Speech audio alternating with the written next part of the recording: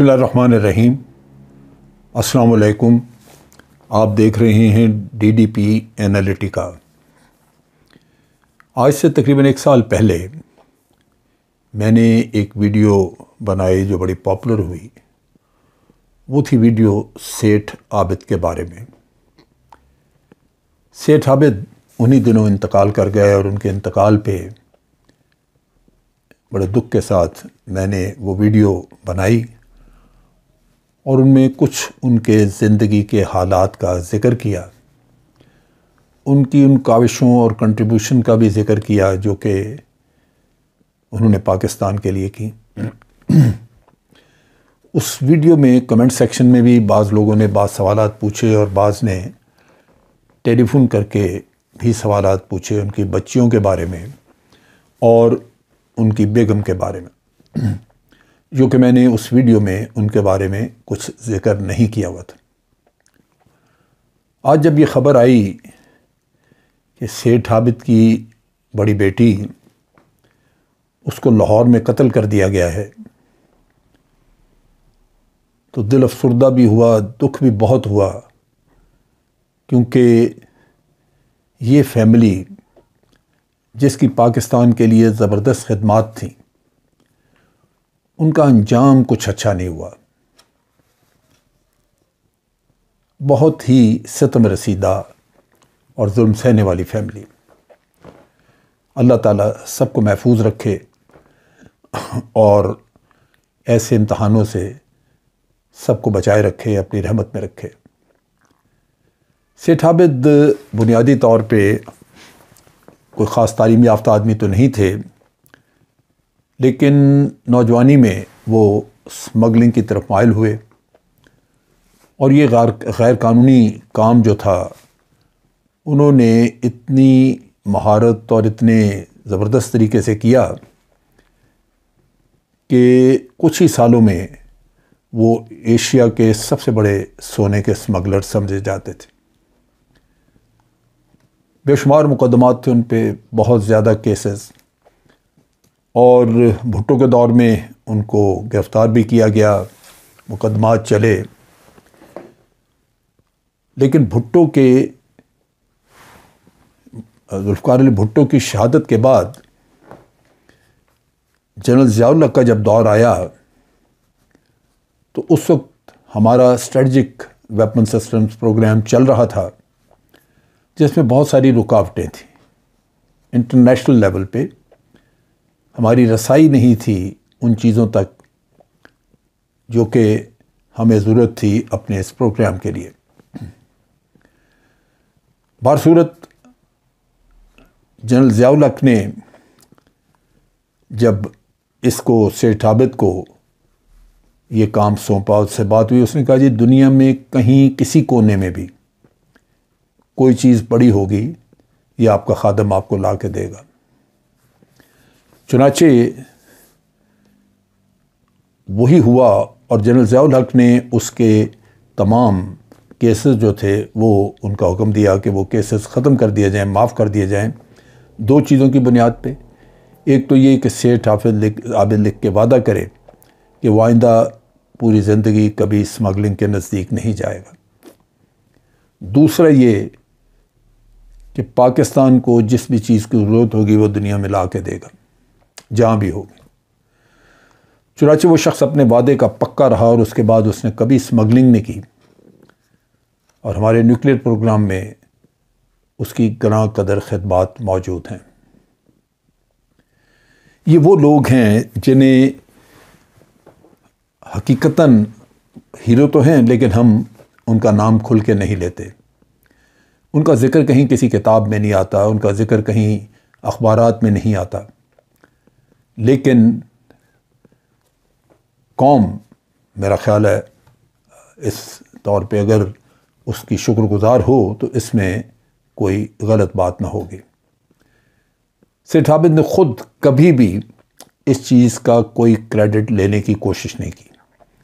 मैंने नहीं सुना कि कभी किसी फोरम पे जाके सेठ आबिद ने यह बात की हो कि मैंने मुल्क के लिए इतना बड़ा काम किया था। आजकल तो कुछ छोटा सा काम भी कर देता है उसमें भी उसके अपने सौ मफादात होते हैं, तब भी कौम के सर पे एहसान किया जाता है।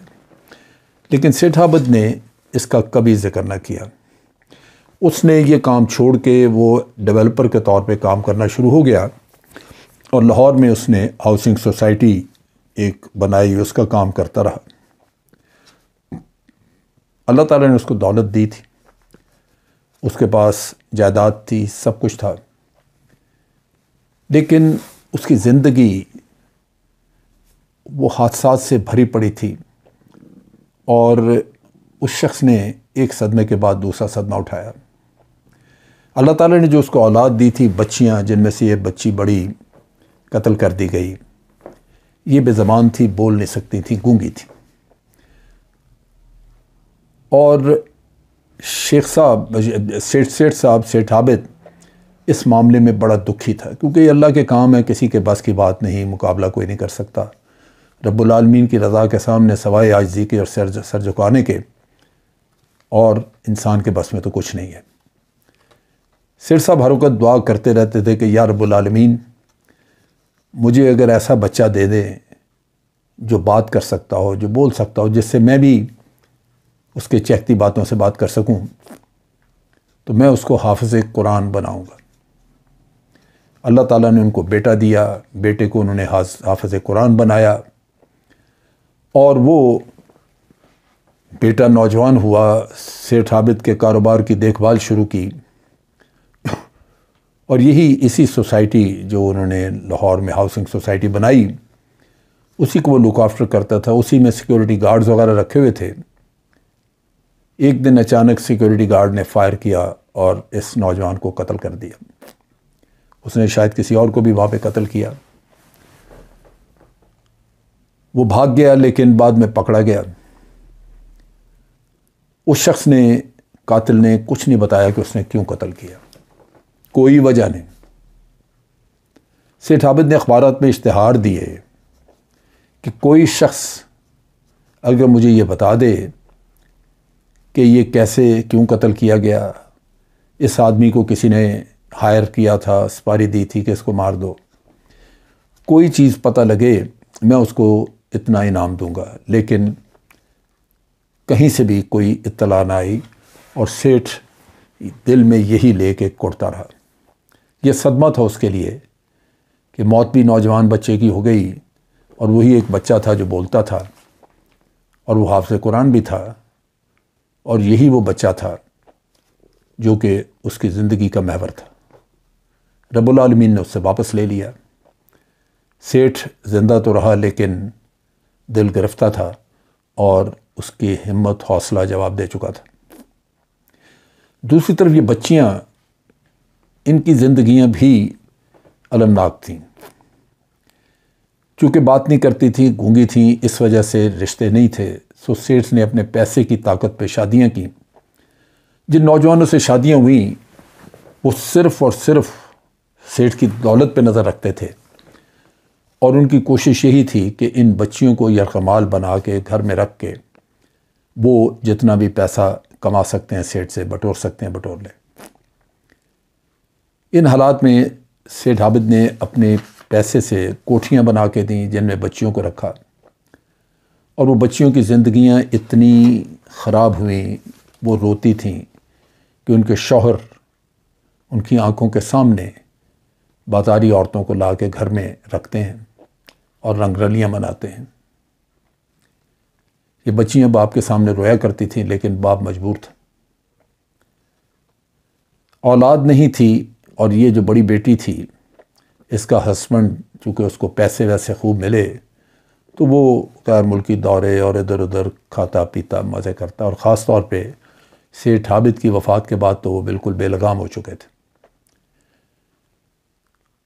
अब ये ख़ातून या सेठ आबिद की ये बड़ी बेटी, इसने जब औलाद नहीं थी तो एक बच्चा लड़का लेके पाला, उसको बेटा बनाया, जवानी तक पहुँचा वो लड़का। और जब उसकी शादी का वक्त आया तो वो कहीं गलत जगह पे अपनी मर्ज़ी से शादी करना चाहता था, जिसके रास्ते में ये ख़ातून रुकावट थी। चुनाचे इस रुकावट को हटाने के लिए इस शकील कल्ब ने अपनी मुँह बोली माँ को कत्ल कर दिया। जिसका खूनी रिश्ता नहीं था, उसके बावजूद जिस औरत ने उसको ममता दी, जिसने उसके ऊपर अपनी सारी दौलत लुटाई, वही उसके खून से हाथ रंग के तो मज़े से बाहर निकल गया। बार सूरत पुलिस ने पकड़ा पकड़ा गया। अब सिलसिला ये है कि सेठ आबिद बेचारा उसकी वफ़ात के बाद ये वाक़ हुआ, ये देखता तो शायद और भी दुखी होता। लेकिन बेटे के सदमे ने उसको मार दिया था। वो सुबह मस्जिद में नमाज़ पढ़ने के लिए आता था मॉडल टाउन में और लोग ये बताते हैं कि वो एक ज़िंदा लाश थी। सेठ की बेगम उन्हीं दिनों इंतकाल कर गई क्योंकि नौजवान बेटे का सदमा वो भी बर्दाश्त न कर सकी। बहुत अच्छी खातून थी। मुझे जो सवाल आते रहे वो उसी खातून के बारे में आते रहे कि सेठ की बेगम का क्या हाल है, किधर है? क्योंकि बाज़ ख़वातीन उन्हें जानती थी, उनका वास्ता उससे पढ़ता रहा था और बड़ी तारीफ़ करती थी।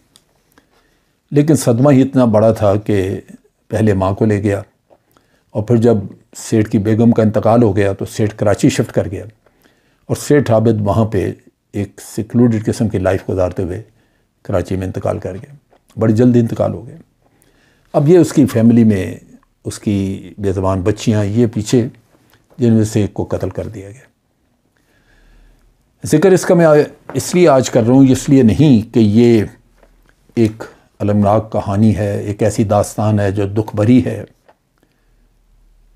ज़िक्र मैं इसलिए कर रहा हूँ कि मेरे दिल को तकलीफ़ पहुँची। क्योंकि मैंने जो उससे मुलाकात की थी, पहली मुलाकात मेरे एक दोस्त ने मुझसे करवाई थी एयरपोर्ट पे, रावलपिंडी एयरपोर्ट पे। उस वक्त वो जनरल ज़ियाउल हक को मिल के और उससे अहकाम ले के वापस लाहौर जा रहा था। उसके हाथ में एक नोटबुक थी जो कि अमूमन हम स्कूल के बच्चों के हाथ में देखते हैं। और उसी में ही उसने कुछ नोट्स बनाए हुए थे, जिनके लिए वो यहाँ पे आया था इस्लामाबाद में। और उसने उस वक्त बताया था, ये जो बातें मैंने बताई आपको, उसके बेटे की या जो भी कि उसने ये दुआ मांगी, ये मन्नत मांगी, ये मुझे मुझे सारी बातें उसी ने बताई थी उस वक्त। और वो जल्दी में था कि मैंने जाके तो इंतज़ाम करने हैं इन चीज़ों के, जो पाकिस्तान को अपने स्ट्रेटजिक प्रोग्राम के लिए ज़रूरत है। मैं चूँकि इस आदमी को एक ऐसा हीरो समझता हूँ, जिसने कभी किसी काम का क्रेडिट ना लिया, उसने अपनी तमाम ज़िंदगी का निचोड़ हमें बिल आखिर दे दिया। जो ज़िंदगी, मुजरमाना ज़िंदगी कहलाती थी, वो पाकिस्तान के लिए एक नमत नमत गैर मुतरकबा बनी। तो इन हालात में ऐसे आदमी की कदर करना और उसके दुख का दुख उठाना, ये मैं समझता हूँ, ये इंसानियत भी है और हम सब का फ़र्ज़ भी है। दुख भी होता है इन लोगों की याद भी आती है कि कैसे पुरखलूस लोग थे। और फिर हकीकत ये है कि उन्हीं की खदमात हैं कि आज अर्ज़ मुक़दस ये पाकिस्तान, वतन अज़ीज़, एक महफूज जगह है। बावजूद इसके कि हमारे सियासतदानों ने, हमारे हुक्मरानों ने इसको कमज़ोर करने में कोई कसर नहीं छोड़ी, लेकिन एक न्यूक्लियर पावर होने के नाते आज आपके दुश्मनों की इतनी ज़रूरत नहीं है कि वो आपके तरफ़ मैली आँख से देख सकें। मेरी दुआ है कि रब्बुल आलमीन अगले जहान में सेठ आबिद की मुश्किल आसान करे तो अपनी रहमतें करे, क्योंकि पाकिस्तान के 22 करोड़ लोग उसके शुक्रगुजार हैं। आज के लिए इतना ही। अफवाज पाकिस्तान जिंदाबाद, पाकिस्तान पाइंदाबाद।